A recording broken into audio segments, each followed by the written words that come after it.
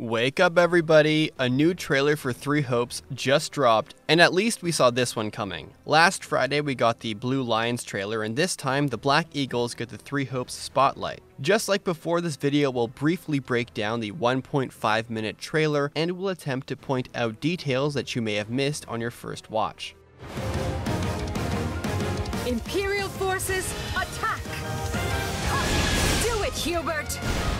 Following tradition, it starts with some gameplay of Edelgard in combat. Promotional materials confirm Edelgard's attacks under the Armored Lord class are fire-based and inflict the burn status on enemies and can cause a blazing explosion if they keep going as shown in the trailer. I am yours to command. Let us squash them. The trailer then moves on to Hubert and we briefly see some more colored pots. The one on the left is purple, and I noticed this in the first trailer, but I honestly chalked it off as blue but purple looking because of the lighting. But yeah, purple pots exist and I don't know what those are for yet. Nothing really of note for him since we're already familiar with the design of his attacks. Impressive.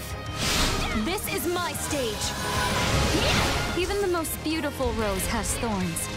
Have you realized that yet? Dorothea, similar to Annette, is shown incorporating musical effects to her attacks but to a far greater extent it seems, which makes sense since she's canonically a songstress. They seem to have a wide-ranging AoE effect. We also see her perform some lightning magic and summon meteors which explode upon reaching the ground. This tracks with her three houses spell list as she does learn Thunder, Thoron, and Meteor.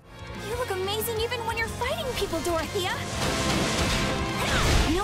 Call me Bernie Bear again. Bernadetta is next, and wow, did she just freeze every enemy around her for a moment? It looks like this could be a signature ability of hers. She does learn Encloser, which does stun the target in place for one turn in three houses, although this just seems like a unique ability and not based off an art like that. She later attacks them with arrows similar to Ash, like in the Blue Lions trailer, but in a far more stilted and nervous fashion fitting for her, before summoning a rain of arrows she tries hiding from. Personally, I think she won the trailer. I really appreciate how animations are so expressive in this trailer, and how the archers are so much better handled than in Warriors 1, seemingly. Playing with archers is a really exciting prospect, and now I'm very excited for Ignatz. I am Ferdinand von Aegir. Have at you! Such is the cost of war. Follow my lead. The trailer's music then changes as we're introduced to Ferdinand in a cutscene, just like with Felix. While we don't see the lance he's holding during it, we do know that the weapon he uses for gameplay is a steel lance, and similar to Sylvain, he proceeds to march onwards while sweeping every mook that happened to be around him. Nothing can stop me! Well, unless you bring my father to the fight.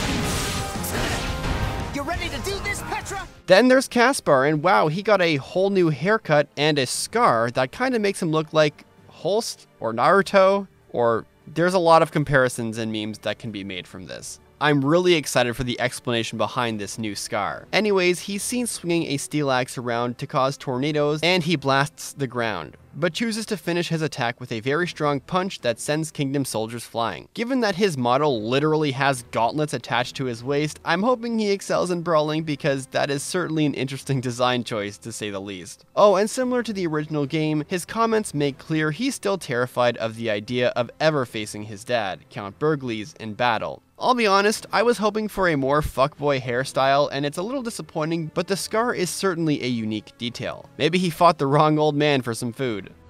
Hey, where did you get that? Uh. Get what? It looks awfully fresh. You didn't take that from the kitchen, did you? Uh, I'm a defender of the helpless. You really think I'd steal some food for a cat? I got it by fighting an old guy in the dining hall. I won it fair and square. More, Caspar, you and I will demolish them. In the name of Brigid!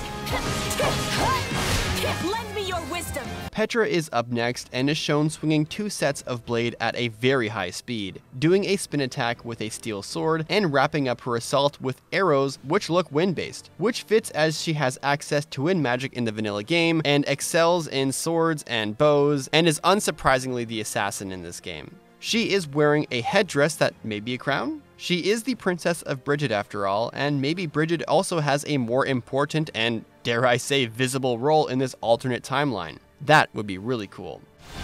As long as that's all you want.